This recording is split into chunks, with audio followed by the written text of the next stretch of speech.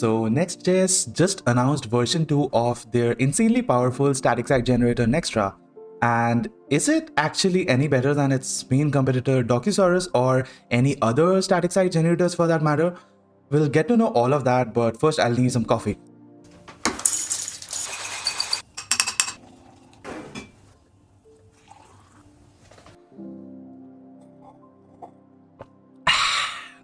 All right, I'm back. Vamos Argentina for the World Cup win. Um, if you're new here, my name is Siwalik. I am a software engineer based out in Germany. And on this channel, my job is to teach you tech concepts which would make you a better developer. So now let's jump right back into Nextra.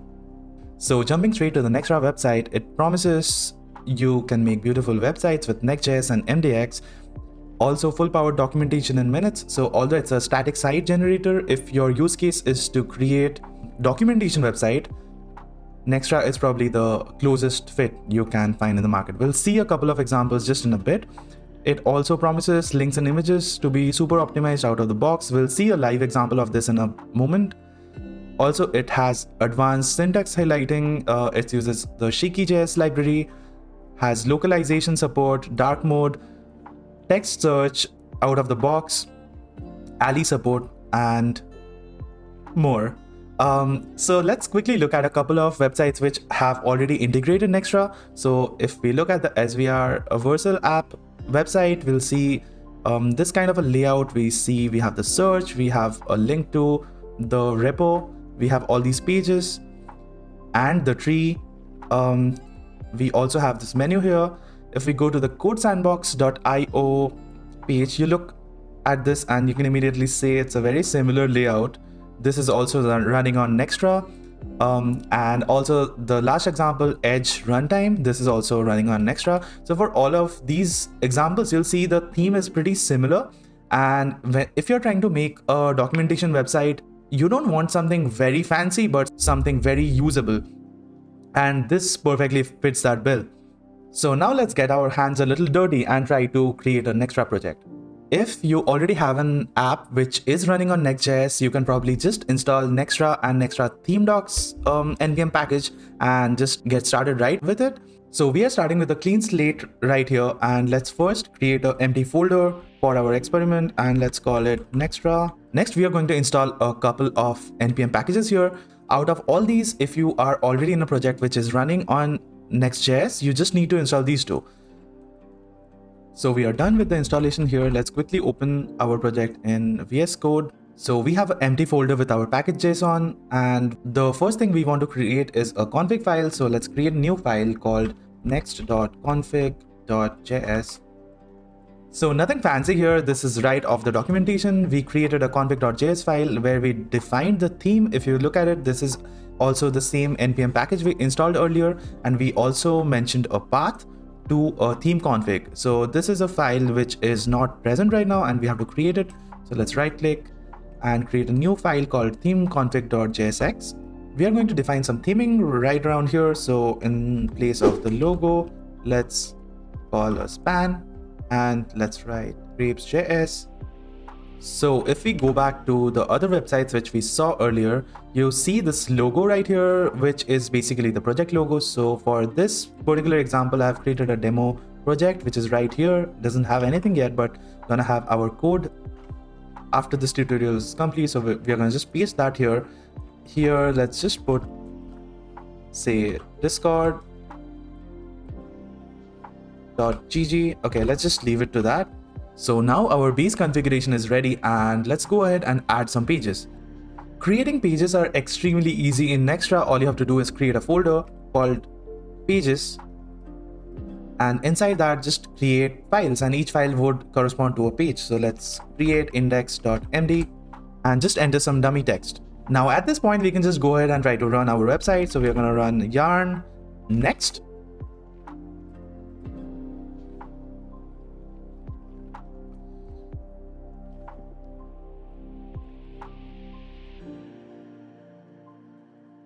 let's see what do we have here.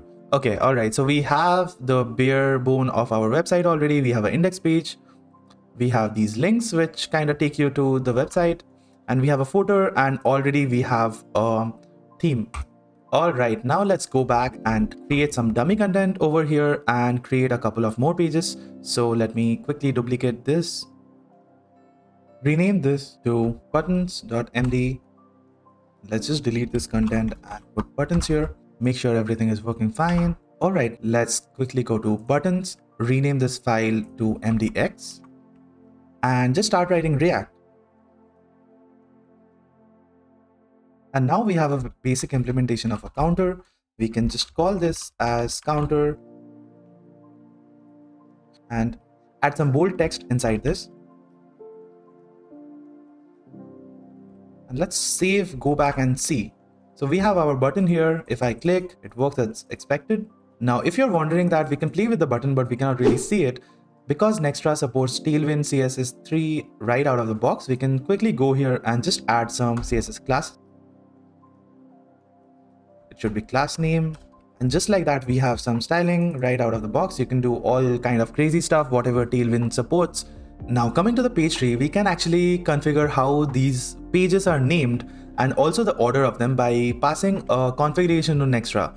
How do we do that is by creating a config in the root calling underscore meta.json. Well, my bad. The meta should go inside pages. Let's move this and now we can just pass an object here and name our pages so now we can go back and see that the pages have been renamed and the order which you maintain here is the order you see on your website. So definitely we want the homepage to be the first link. Let's move this up. Fix the commas go back refresh and we have it. We can also provide nesting in the form of subtrees by creating further folders. So let's create a new folder. Let's call it help and create a file inside it called help.mdx now if you go back to your website and refresh you can see we have a page right here with help. And from all these pages you also can make use of the in-page navigation to navigate through all the other pages. Now the next thing Nextra has done really well is image and link optimization on their framework. So first let's create a folder in root. Let's call it assets. And now i'm going to import some lovely grapes right over here. Let's uncomment this about now. If we go back to home we already have the image here. Now although this just looks like a normal image under the hood nextra is actually wrapping all images on our website with the next.js image component and that gives us a couple of really good advantages out of the box like lazy loading by default source set and image optimization now, Nextra also does something very similar when it comes to links. So whenever it finds a link in your page, it wraps it up with a Next.js link component. And what it does is it optimizes prefetching for all those links by default and also enables smart routing if the link is of an internal page. So we can demonstrate that by copying one of these links and let's go to our homepage, which is index.md and let me add a link here to buttons and if we go to our app refresh it we already have the links to button here. Now we have not done any fancy routing but next.js can figure out this is an internal page and do that sweet single page application transition for you instead of doing a full page refresh. Another thing which i really liked in nextra 2.0 is the advanced syntax highlighting. So we have added our code in triple takes and mentioned the language for which we want highlighting. If we go back to our code, we can already see some really nice highlighting going on here. Now you can just pass an additional property here called copy and that enables this copy button for your code. I can also enable showing line numbers here by writing show line numbers and we have line numbers here. Now, a couple of more cool things we can do with the code snippets is highlight specific words if you want or highlight some numbers. So for this example, let's just highlight use state and how we do that is start with a hash, write the word we want to highlight in the code next to it and end up with a slash.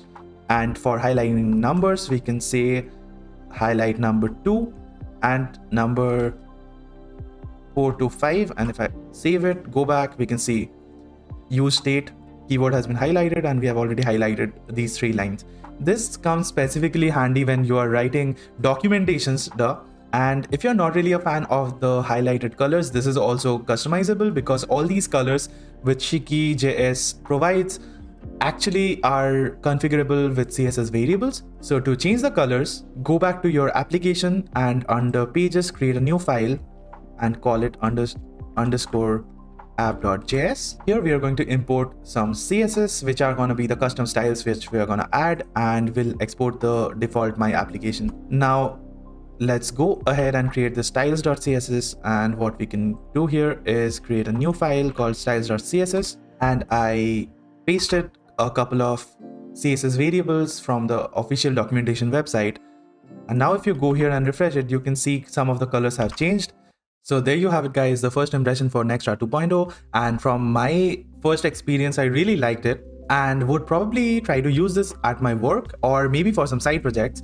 If I have to talk about pitfalls, I feel the documentation is still not complete and if you go around and look at some pages, many of them are still under construction. So maybe give it a couple of more weeks uh, for the documentation to be ready or even better, you can go ahead and contribute yourself on the Nextra repo. All the links would be down. Hey, thanks a lot for sticking till the very end of the video. I really, really appreciate it. I would love to know what you think about Nextra or this video in general. Let me know down in the comments and I try to answer all of them. Also, if you're new here, make sure you hit the like and subscribe so that I can grow my channel and YouTube also shows this to more people. Um, and I think that's all. Merry Christmas and have a great new year, and I'll see you on the next one.